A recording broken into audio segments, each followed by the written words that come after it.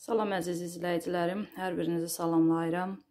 Bu gün sizlər üçün merenqa ruleti hazırlayacağam.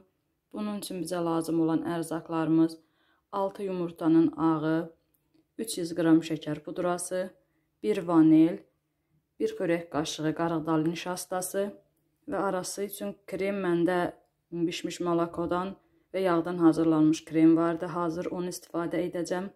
İndi isə keçək hazırlanmasına.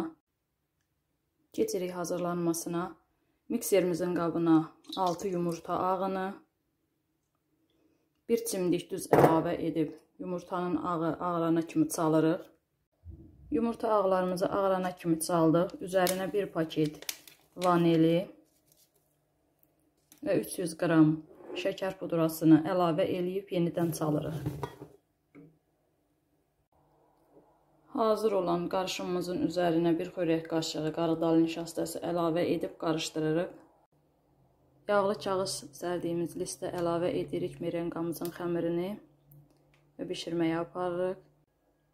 Onu da qeyd edim ki, mənim duxovkamda 100 dərəcədə 20-25 dəqiqəyə bişir. Artıq merenqamız bişdi, hazırdır.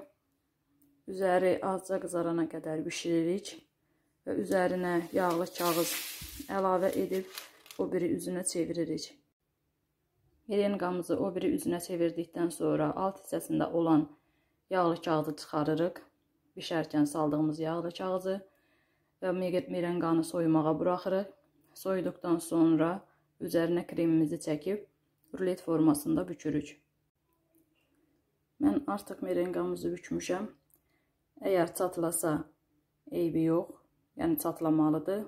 Qırılsa demək çox bişirmiş olursunuz. Mən merenqa ruletimizi bu cür bəzədim. Əgər bəyəndinizsə, bəyən düyməsini basmağı, kanalıma abunə olmağı unutmayın.